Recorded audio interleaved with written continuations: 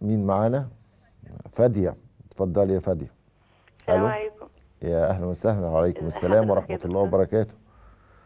قولي يا فادية. آه، أنا عاملة عملية شد بطن بقالي ثلاث سنين. أنا مخلفة ثلاث أولاد. بالك قد إيه يا فندم؟ بقالي ثلاث سنين. ثلاث سنين. أيوة يا فندم.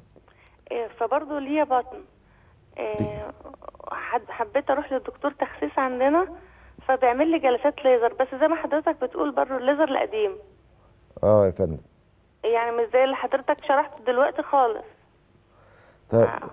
فادية الدكتور التخسيس بيبقى عنده أجهزة ليزر للتخسيس. وإحنا اتكلمنا لازم تبقى عارفة يا فادية وأنت من المنصورة حتى الناس بتوع المنصورة كلهم زي القمر يعني؟ فأنت ال- ال- التخسيس حاجة والتجميل حاجة تانية خالص.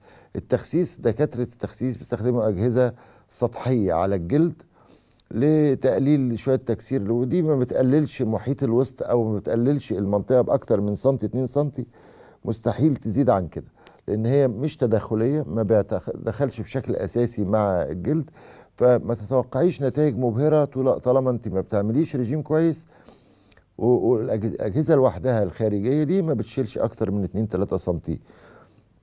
من محيط الوسط يعني بعد استخدامها 12 20 جلسة.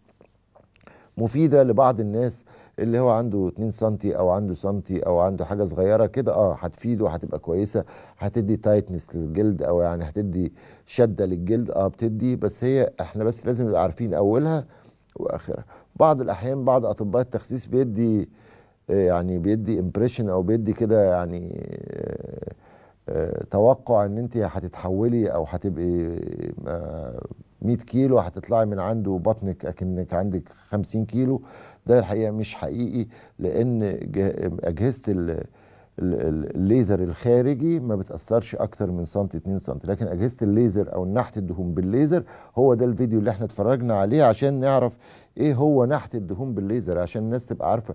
ليزر مش من بره كده. الليزر اللي من بره ده أو التفتيت أو الكرايو أو كل الوسائل دي آه ممكن تنزل لنا 2 سم 3 سم لكن مش هتغير الشكل بشكل دراماتيكي إلا زي ما بتعملوا عمليات نحت الدهون بالليزر.